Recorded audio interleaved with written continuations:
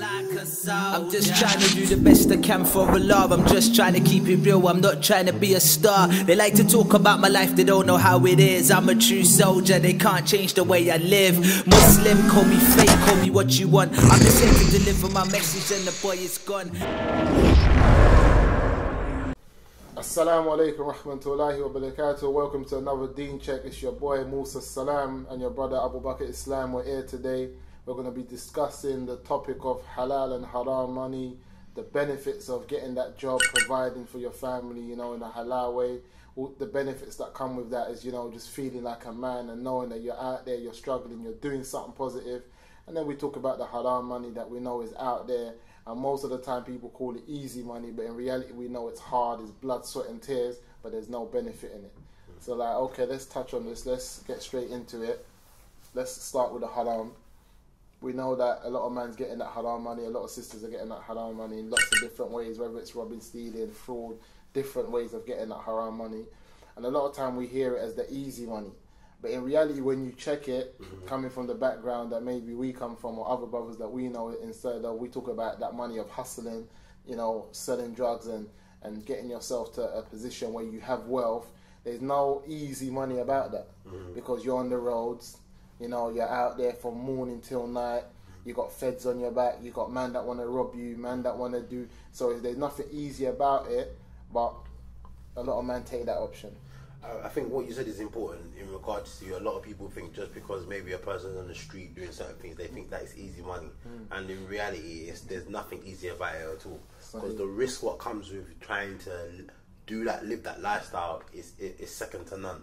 Like you said, worrying about police, worrying about people on the road, worrying about many things that you're gonna have to think about on a day to day basis. Now, we live in a society where majority of the young people that you see who are involved in this criminal lifestyle is because it's portrayed in a way that people beautify it and make it look like it's such an attractive lifestyle. Mm. I mean, we've come from that lifestyle, from a lifestyle of selling drugs, robbery, crime, you name it. We've, we've, we mm. either we've done it or we've had people around us who've done it. And subhanAllah, it's not easy. It's not a joke. And like I said, when we grow up, one thing I would say in regards to haram money, it's not easy, but mm, it's fast money. Because com- comparison, if you compare it to a normal job, like let's say for example, in Jahiliya we were we were running lines, we were making like a grand a day. Mm. Now you get a job, we've worked jobs that pays us maybe fifteen hundred pound a month, and we make that in a day. You understand? A day and a half, we've got that money. Mm. Do you understand? The money that we maybe we make in one month is people are making that. That's what it takes them a whole year to make it. So when you look at compared to that, would say yeah, the money is fast money because it's coming quick. Quick, But the risks what come with it. How many people do we know who are in jail doing ten years for drugs? Doing 15 years for firearms. How many brothers do we know, even Muslims we know, who are doing IPP, been in jail seven, eight years, don't know when they're coming out. So for it's easy for people to say this is for, uh, it's easy money. It's not because when the law comes down on you and the consequences come, they're no joke. But when we want to talk about haram money in totality, we want to talk about it from an angle, from an Islamic perspective. Now, brothers and sisters in Islam, if you're an individual, you're a young person who's watching this video and you're thinking, you know what, I want to do fraud, I want to do bank scams, I want to sell drugs, I want to, I want to rob, I want to steal, I need money, I need this, I need that. Yeah, in these things, what we're talking about, there's money in it. We're not gonna mm. come here and fool the people and talk mm. rubbish. You can get what you can get money. Mm. You can get a hundred grand, fifty grand. You can get money. It's true. Yeah, But wallahi, I tell you this, brothers and sisters in Islam, that money has no barakah in it whatsoever. No barakah. I've had money. I've had money. Wallahi, I've had money. I've seen money. Real money, not 50, 100 grand. I've seen real money. And I've seen it come and I've seen it go. Sahih. Because there's no barakah. There's nothing in the money. There's nothing in it. And a lot of us young people, we strive to get that money, looking for that happiness, looking for that fulfillment in life, thinking, you know what, if I have that, I'm gonna be successful. But what they don't know, if that if you take that path to get that money, you're not gonna see no happiness. it's, it's to the point where that money is that sometimes you only realize the money that you've had when it's gone. Subhanallah. But you don't even see it. In reality, when you have the money, you don't even understand what you have, how fast it is. Like you said, it's not easy, but it's fast. To the point is that in a month or two you can go through thirty grand Mm. in two months, and then by the end of that month you've done holiday trips, spending everything, and at the end of that month you're left with seven grand. Mm. And within those two months you had, and you've only realized, hold on, I've just spanked twenty three much grand. Mm. Where's that gone? So it's like you've you that's how fast it is. It's not only fast attaining it, but it's also fast when it's leaving. Mm-hmm. So it comes in and goes out. But nevertheless, even though we we see that cycle of money coming in and going, people still go down that route. They still make it an option in their life. It's like they never look. You know, one thing that we always speak about is that not allowing certain things to be an option in your life because once something is always an option, then you're going to go back to it. But how many times do we see from the roads until now that a man has 30, 40 grand, he gets nicked, goes jail, or he loses it Mm-hmm. and he's left with nothing. And again, he goes back. And this don't happen once, it happens two or three It goes, times. it goes time. But you know what? Sometimes I think that boils down to is like, uh, especially in our community and where we're from, is sometimes we feel like we can't do nothing else but this. It's like No, no. Even becoming a Muslim. What is our qualifications before Islam? Hmm. Everything we know, the things we know how to make money, are all wrong. you understand? And majority of the people that we know before um, Islam. The ones who are not Muslim, and even some of them who are Muslim, they're still doing the same things that we were doing 10 years ago. ah.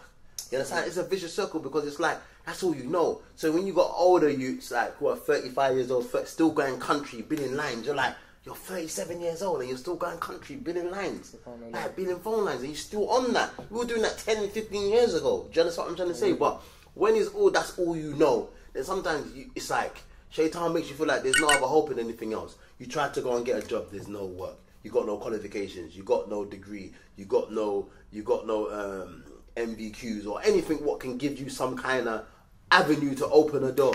So you're just gonna say, you know what, this is all I know, and that's why I think a lot of people end up going back down that rat. But one thing that we find within, you know, within the road life, there is a perception of what's young and what's old. Mm-hmm. So on the roads, when you're 25, we look at it as old. Mm. Man say, when I'm 25, I need to be coming out the game. I need mm. to have made this money, 200 bags, whatever. I mm. need to be coming out the game.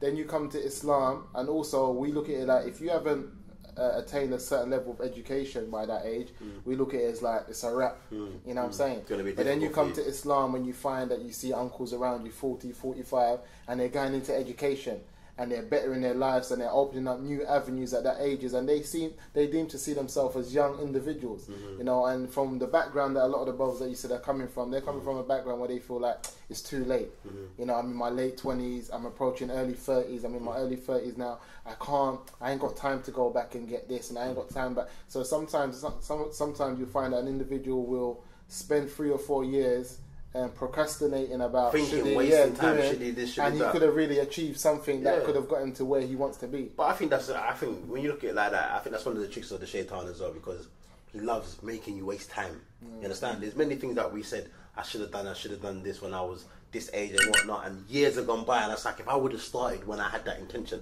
I would have been done by now. Sorry. Do you understand? But like I said, in regards to the shaitan, and sometimes even friends. Because you might go to a companion, you might go to someone and you say, you know what, I'm looking, you be like, nah, leave that, man, that's long. I don't waste your time with that. Go down this avenue. You understand? Three, four years later, you're still in the same path, you're still not doing anything, and you could, you think back to yourself, you know what?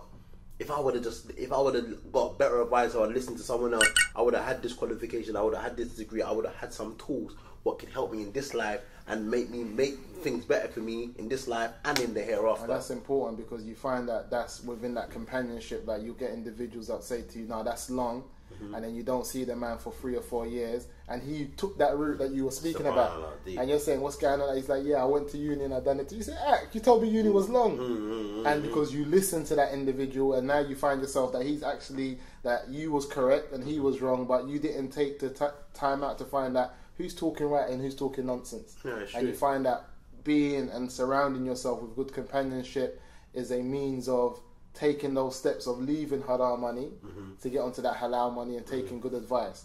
But always, obviously, okay, someone that's been doing haram money now and they've been shotting, they've been selling drugs, whatever. And sometimes also a lot of the of the women they're in that position where a lot of sisters before Islam and during some that were born Muslim that had a jahiliyyah were used to going into banks and you know doing scams and things mm. like that or holding drugs for mm. individuals that were selling drugs and things like that and their risks are still the same. They don't see them as big risks. Mm. They see them as minimal. And some of them are Muslims and they're still doing the same thing. Mm-hmm. You know, and they're still caught up in, you know, holding certain things that they shouldn't for individuals and they get paid for it and things like that. You know, how do how do they, you know, kind of take those steps of coming off At the end of the day, we we remember first and foremost, yeah, there's nothing gonna, nothing good is gonna come from bad, is it? You understand? So when a sister, uh, or even a brother, because this happens to brothers as well. If you're a young person out there and someone's saying, you know what, hold this, hold drugs for me, hold a gun for me, hold this, hold that, you have to realize that you can't just think, oh, I'm doing this person a favor because if the law come down on you, you're going jail. You understand? You're going to be accountable for these actions. Mm. So you need to be an individual who's strong-minded and said, you know what, I don't want to take no part in this. I don't want to take no part in this. If you're a sister out there and your husband's doing haram, don't let him his haram be a part of your life. Mm. Do you understand? Obviously, advise your husband. Don't encourage him to push him Yeah. to do that. Like so, where he feels that he's shy to, if he's doing any of that stuff, he can't come home and, and be, let it be known on the yeah, table. of course, he hides it. And one of the other biggest problems that we have to realize is that a lot of the brothers here were doing things like robberies, mm. Doing bank scams, doing selling drugs, and they're going home and feeding their family with this money.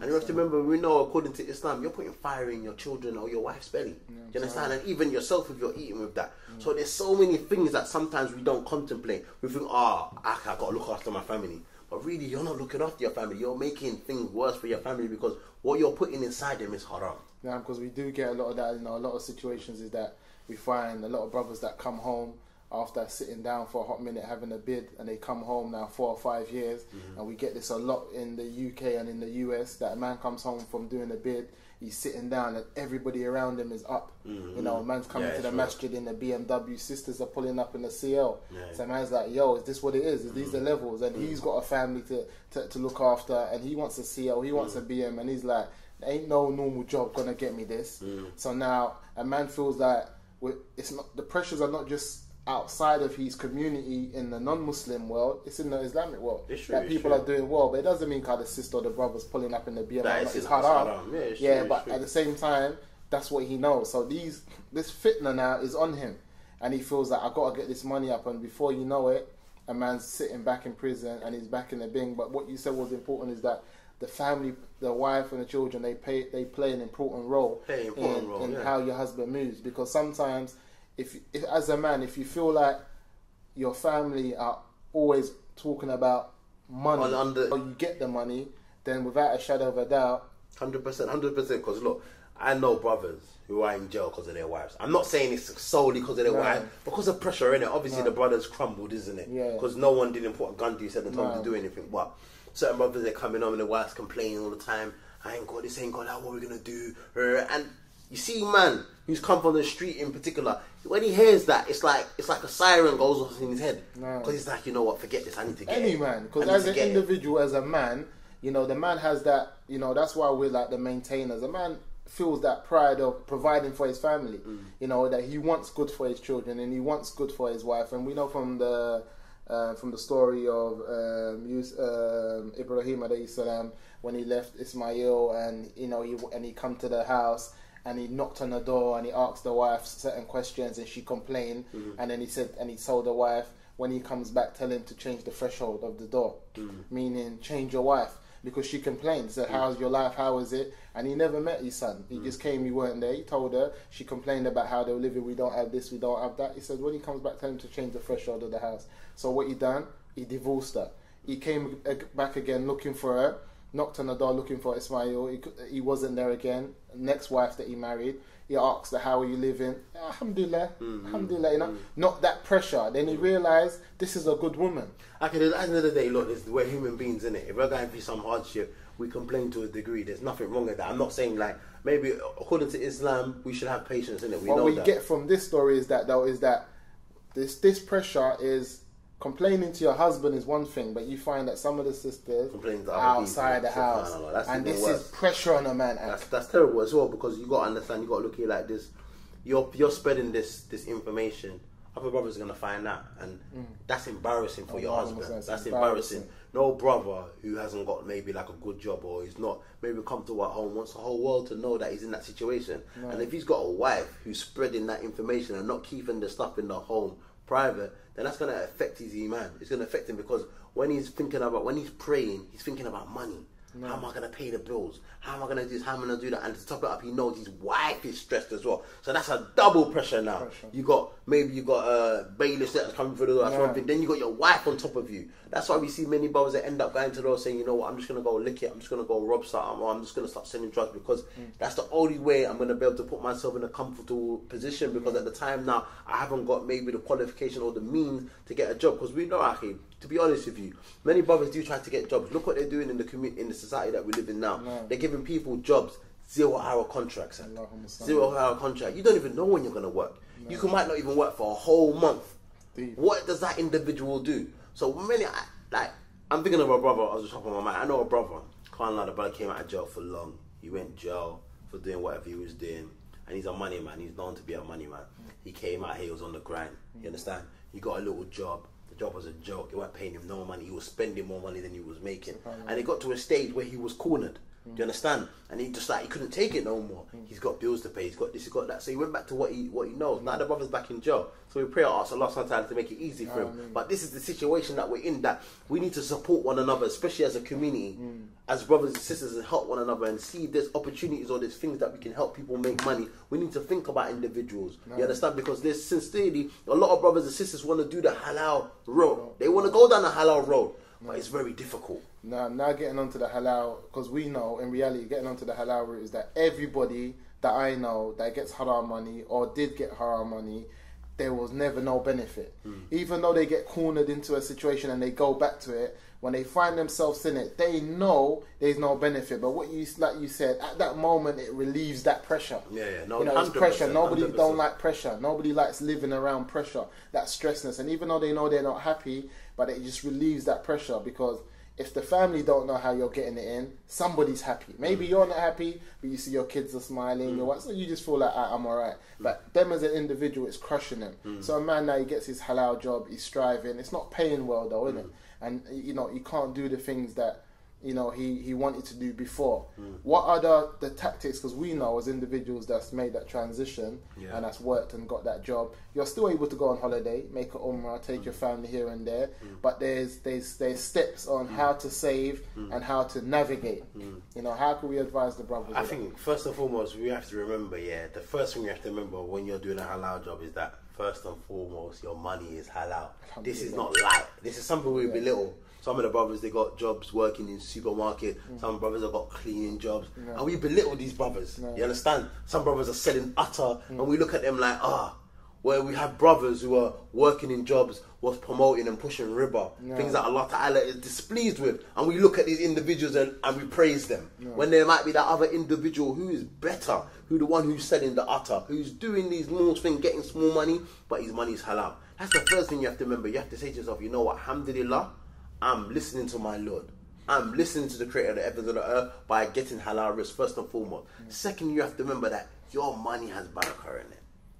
Hundred percent, no shadow of a doubt. When you're getting that halal money, it could be small, it's got barakah in it. Allah Ta'ala will put barakah in your money and that money will stretch. But one of the things a lot of people need to realize is that you can still do the things that you couldn't do like you were doing before.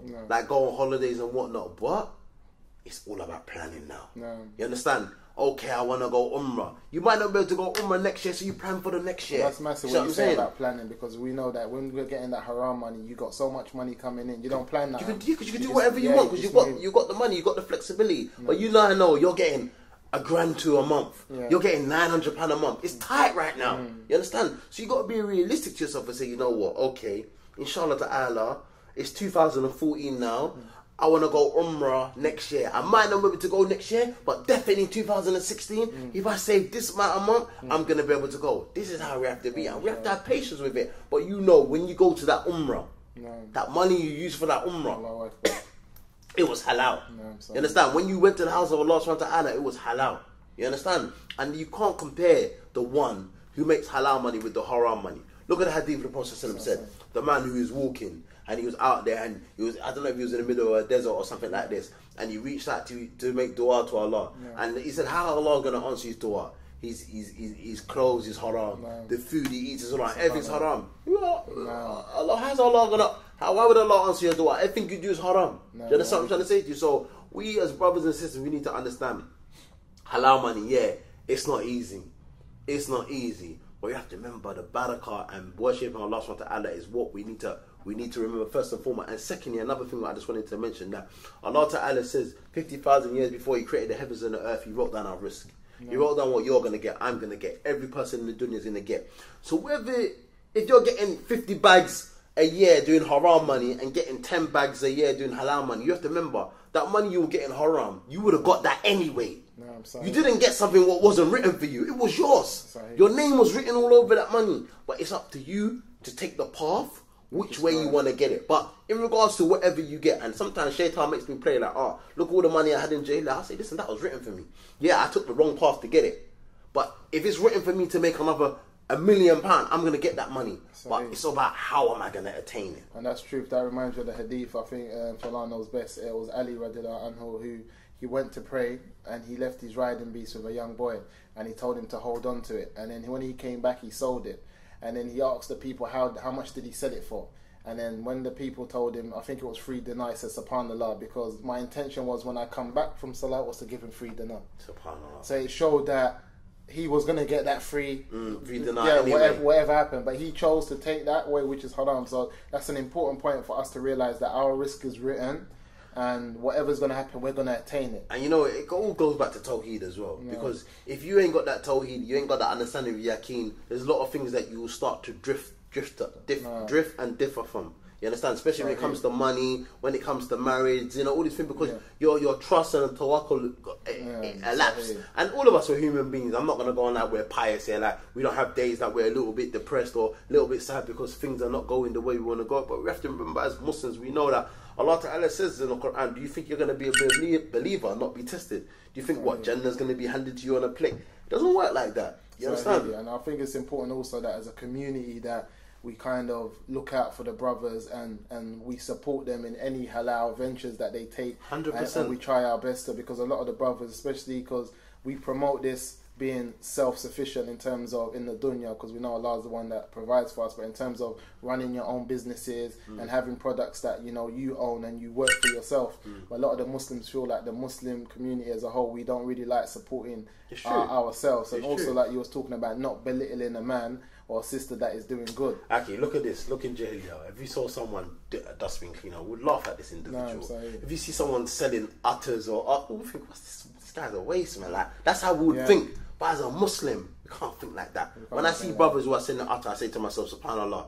I don't, I don't really like putting attar on my skin because when I put the attar on my skin, I get a, like reaction, I get irritation. But what I try to do, inshallah, is that I support him. Yeah. You understand? Even if it's two pound, three pound, I just Yeah. take the attar and I give it to someone else. Yeah. Why do I do this? Because we're gonna be the first one talking if we hear that brother's licking it. Yeah. So this is why it's important for us to support these brothers when they're doing these little things, because we're the first, always the first to start criticizing and saying, you know what, look that brother's doing that, he's selling haram, he's doing this and doing that. But when he was out there selling attar, when he was out there doing these things with trying to get halal rizq, none of the Muslims were supporting him. No, it's important. So what I get from this, especially this topic in halal and haram money, is that we know the tricks of the shaitan in keeping a, a person in doing the haram and thinking that there's benefit, and we know that sometimes uh, that it's not just uh, a person fighting with his own nafs and his own desires; it's that of his family, his children, and those that are around him. And it's important that the family members are careful in how they talk about what takes place in the house. You know, how, what your husband's making or what he's not making, mm. and you know, and he struggles, and not to really spread it within the community,